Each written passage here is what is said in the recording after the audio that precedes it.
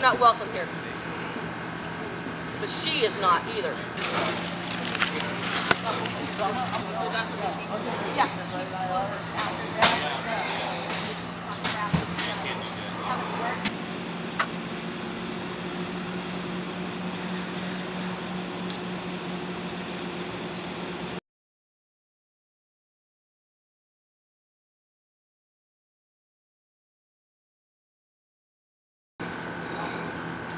Mary Ann's gonna freak, freak out.